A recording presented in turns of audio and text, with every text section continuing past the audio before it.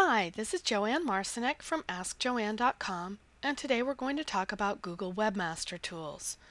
Google Webmaster Tools provides you with some behind-the-scenes information about how Google sees your website, information that you can't get any other place. Get to Webmaster Tools by Googling Webmaster Tools and clicking on the top link.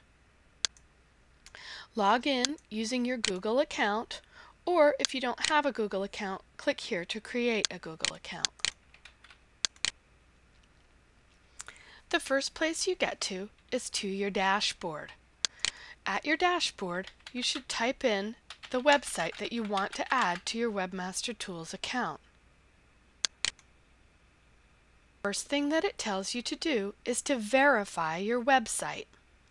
This is so that Google knows that you have authority to view details about this website. There are two ways to verify a site. One is by adding a meta tag to the website. The other is by uploading an HTML file.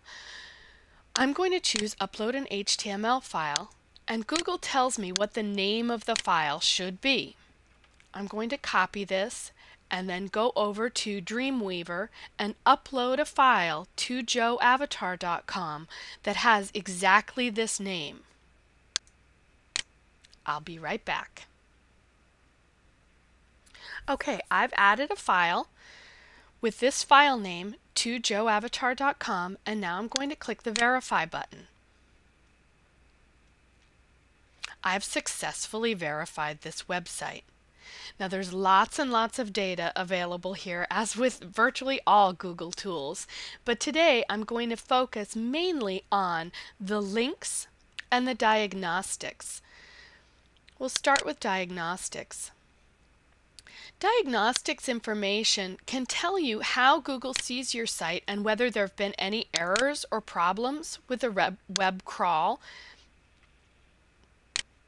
or on the content analysis side, which I think is really cool, this will let you know if you've got any content issues with your site. Now, this site doesn't have any content issues, but some other sites that I've worked with recently will show things like if you have duplicate title tags, meta descriptions that are too long or too short.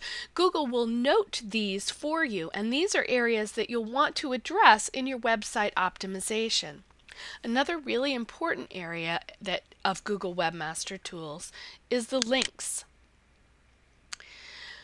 As you probably know, links are very important to Google and quality relevant incoming links to your website are an important way that Google determines how your site should show up in the rankings. This link right here, Pages with External Links, will tell you the number of links to your website.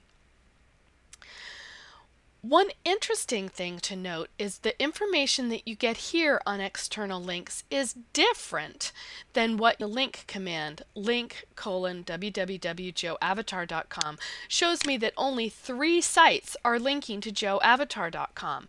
However, here in Webmaster Tools, it tells me I have 22 links, and if I click on the number 22, it will actually show me the individual sites that are linking to my home page. So those 22 links, that's information I can't get any other place aside from Webmaster Tools. This link command is very helpful for when you're doing link building for your website. It lets you know who's already linking to you, and it will also let you know when you're when you've requested links from someone whether they actually did get a give a link to your website.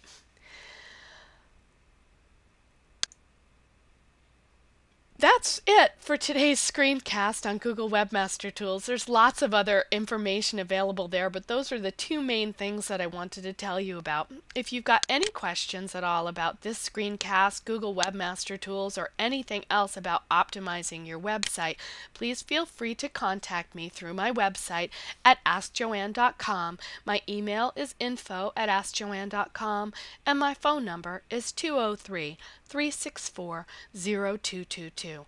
Thanks so much for listening and have a great day.